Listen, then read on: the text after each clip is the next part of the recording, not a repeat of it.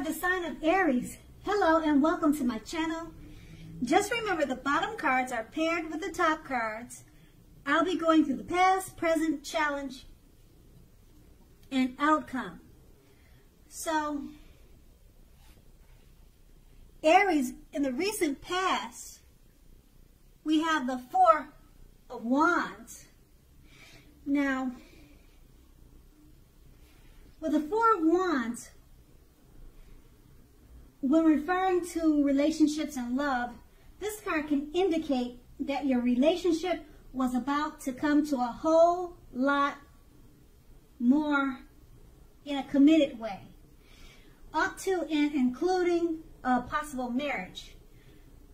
Now, if you were looking for love at that time, it shows that special events like weddings, bars, bar mitzvahs, commitment ceremonies. They were great places to meet someone special at that time.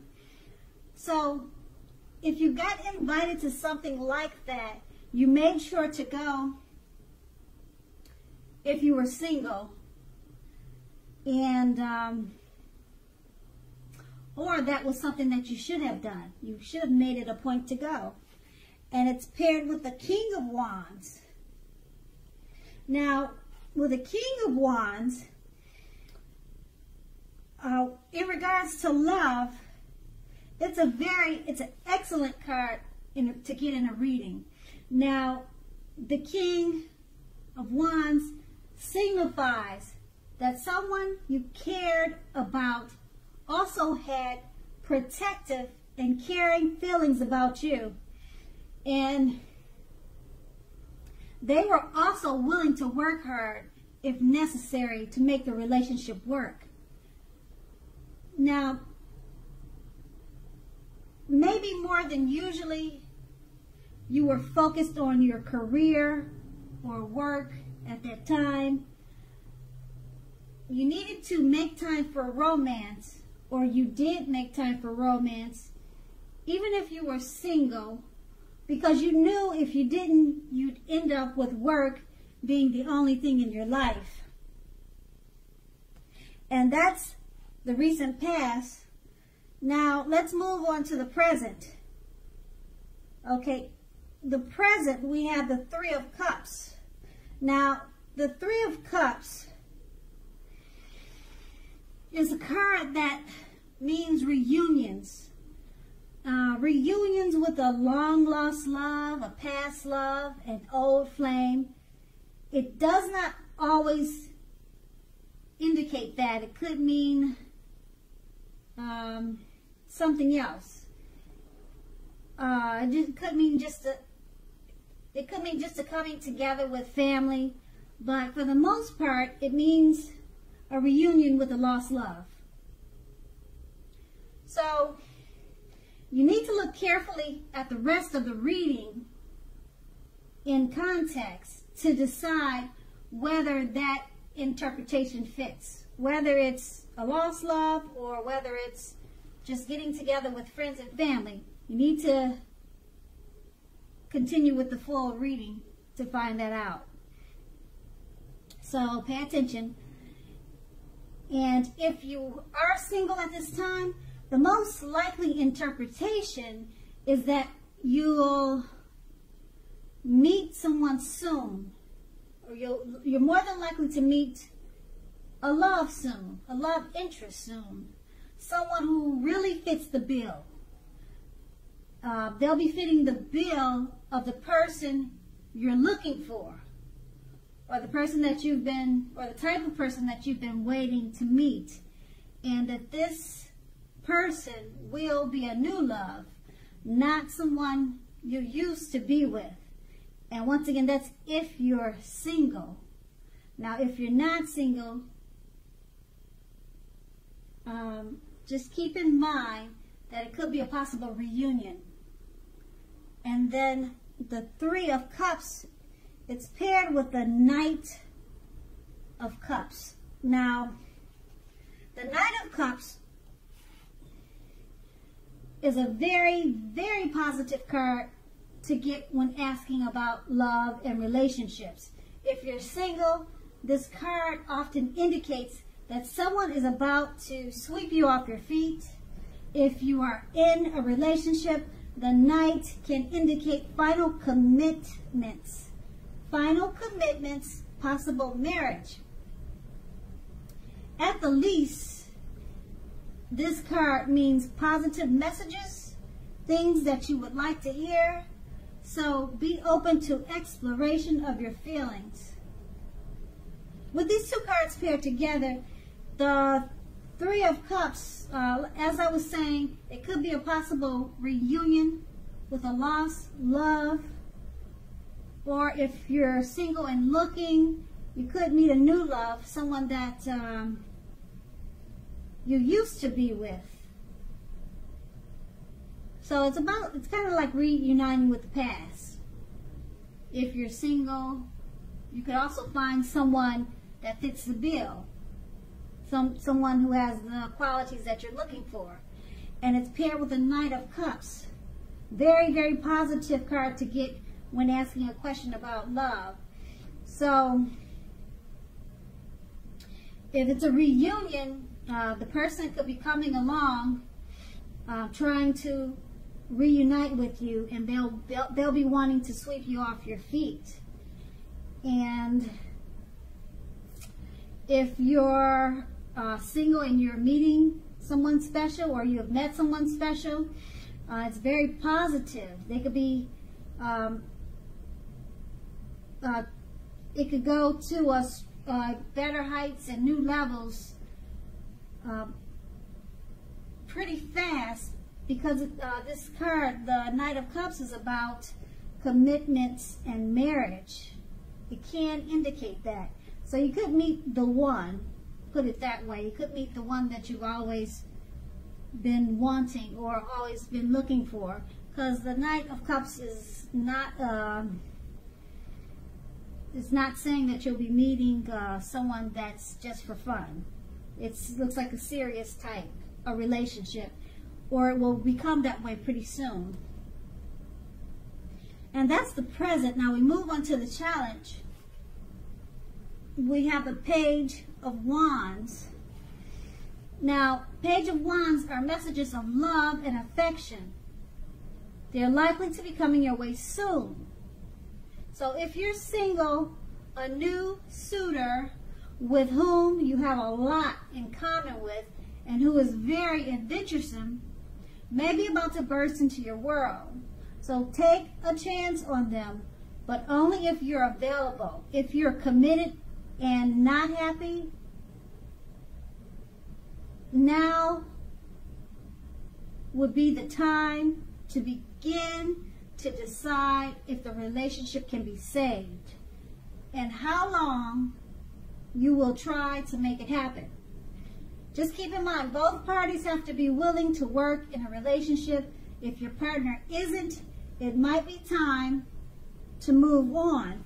Now, the Page of Wands is paired with the Five of Pentacles. Now, the Five of Pentacles, it's not a particularly happy indicator when it comes to questions of love and relationships, unfortunately. Now, you may have your eye on someone who you feel is not treating you the way they should. As you can see in the picture, she looks like she's trying to get out of town or, or, or either escape. Uh, I hope you can see the picture, but that's what it's showing. So someone may be mistreating you. It may be that you need to stop fantasizing about this person completely. Now this card can very much be a card about feeling left out in the cold.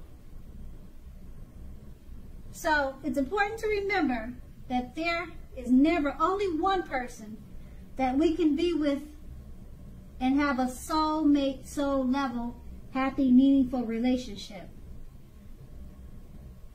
So just keep in mind, when the love is right, you don't have to do backflips to make it work. Broaden your horizons and try hard to think positive. Because just remember, you're a very lovable person. And with these two cards paired together, the Page of Wands, messages of love and affection, They're coming your way.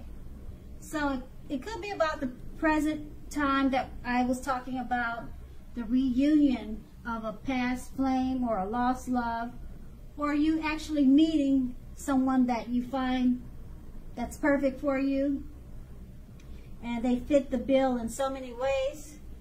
So the challenge with the page of wands, you're going to be getting messages coming your way uh, with someone whom you have a lot in common with. Okay? And it's paired with the Five of Pentacles, which is not very happy indicator when it comes to questions about love. Someone you have your eye on, someone who you feel is not treating you the way they should. So, it sounds like the someone that's coming in to reunite with you, uh, you have a lot in common with them, but you could be leaving a relationship or trying to move out of a relationship that you were in that was not right for you. But you have someone new coming along that uh, that's much better for you. That's what these two cards are are saying. And whatever situation you're in, whether it's a romantic love relationship or some type of situation, it doesn't have to be romance. You're trying to end that. You're trying to get out of that. And um, it looks like um, you definitely have uh, something new coming in. Like I said, it could be someone from the past or it could be uh, a new person that that you have a whole lot in common with and and they fit the bill. So I guess the challenge would be is to take care of whatever you're trying to end or move away from because you have something great coming towards you. And then once again, that's a challenge. Now let's move on to the outcome. We have the Four of Cups. Now, the Four of Cups is a card about wishful thinking. It warns us to remember to pay attention to what is now and the many blessings we each currently experience and not to worry too much about what could be. So just keep in mind, it is all too easy to overlook what we already have in the pursuit of what we don't have. So be sure that you are counting your blessings. Count your blessings. Don't spend too much time in self-pity or wishing your life away. A lot of life has to do with where we put our focus. Put your focus on things and people in your life that you have to be thankful for. And the Four of Cups, it's paired with the Strength card. Now, love should be going very well at this time. If you're committed, it's likely to be a strong relationship that is mutually supportive and beneficial. If you're looking for someone or a relationship, this is a much better than average time to meet people. So you should or you will be feeling self-confident. So get out and mix and mingle. You might very pleasantly be surprised by how things work out. And with these two cards paired together, the Four of Cups, count your blessings. Don't spend too much time in self-pity or wishing your life away. So, it's paired with a Strength card. Uh, things will be going very well for you. So, you really shouldn't be looking back and focus focusing on um, what was or what could be because the strength card is letting you know that things they will be turning out well or they will be going well for you. And uh, if you're looking for someone it's a much better than average time to meet people. Uh, you, you'll be feeling self-confident at this time. So make sure you don't focus on things that are not good for you. Um, don't forget, count your blessings and um, be thankful for the things that you do have. And that's going to be the outcome. So, Aries, I hope this resonated. As you know, general readings, they don't always resonate with everyone. Then again, if you like this reading, please like, subscribe, leave a comment if that's what you care to do. I thank you so very much for watching and have a great day. And have a great day.